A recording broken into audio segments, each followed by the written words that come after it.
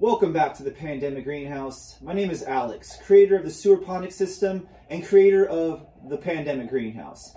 This is a Sewerponics 101 video to get everyone caught up really quick on how the system works.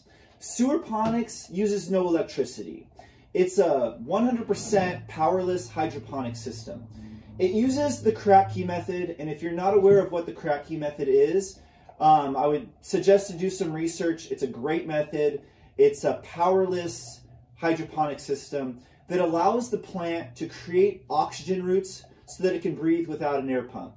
And essentially what I've done is I've used the Kratky method and I've installed a float system inside of these units to continuously feed the plant as the plant drinks, creating a Kratky method system that I call sewerponics that will auto feed your plant for as long as you want with little to no headache if it's set up correctly. You connect the float valve to either a gravity fed or a high pressure water line and the, the float will only allow water in when the level goes below the set value and it's going to go right back up. So as the plant drinks down, the water will feed in, correcting that level. It also has a drain on my unit, so every week or every day, whatever you'd like, you drain the unit, you put brand new nutrient solution in with the float. So the float will feed the nutrient solution back up to the correct level.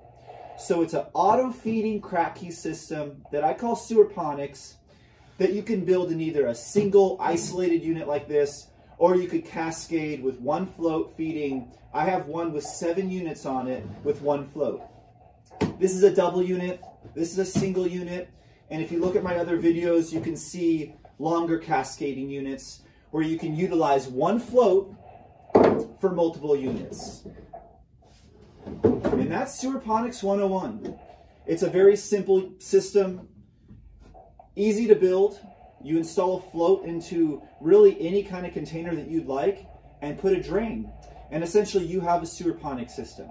So if you have any questions, leave them in the comments section and I'll get right to them. Pandemic Greenhouse, out for now.